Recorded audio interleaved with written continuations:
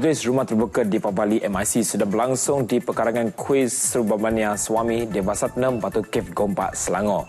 Perdana Menteri Datuk Seri Najib Tun Razak dan timbalannya Datuk Seri Dr. Ahmad Zaid Hamidi turut hadir memberiakannya. Untuk itu, laporan lanjut kita terus saja bersama lokasi iaitu bersama dengan penyampai kami Andy Reza Rohaidan. Silakan Andy.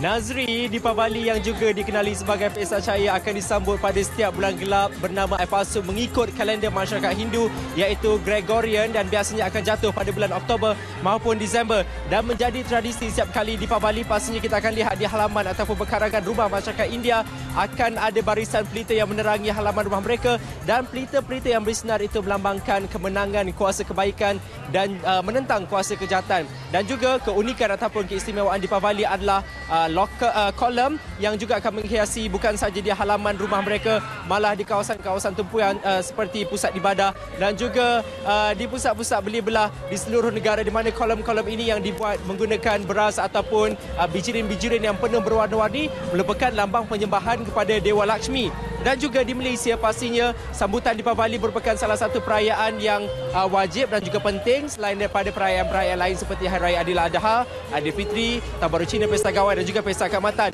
Dan di kuil Sri Subramania Swami Devastanam di Batu Kiev Gembak Selangor ini merupakan kuil tumpuan bukan saja bagi masyarakat Hindu uh, di dalam negara malah juga luar negara untuk bersembayang kerana kita semua tahu pada setiap pagi di Pabali masyarakat India akan bersembayang melakukan penyucian melakukan penyucian dengan bermandi minyak dan seterusnya ke kuil untuk bersembayang dan hari ini di kuil Sri Subramania Swami Devastanam di Batu Kiev ini juga berlangsung majlis rumah terbuka MIC yang dihadiri oleh Yang Amat Berhormat Perdana Menteri Datuk Seri Najib Tun Razak, juga Presiden MIC Datuk Seri Dr. S. Subramaniam, timbalannya Datuk Seri SK Devamani dan juga pemimpin-pemimpin MIC, pemimpin-pemimpin Parti Komponen BN dan juga Menteri-Menteri Kabinet. Walaupun majlis uh, bermula pada 10.30 minit pagi tadi, namun orang ramai sudah pun memenuhi kawasan pekarangan uh, kuil di Batu Cave ini seawal jam 8 pagi. Kalau anda dapat lihat, bukan saja masyarakat uh, India, malah masyarakat pelbagai kaum, Cina, Melayu dan juga ada juga pelancong-pelancong asing yang sama-sama hadir untuk merasai keunikan dan juga kemeriahan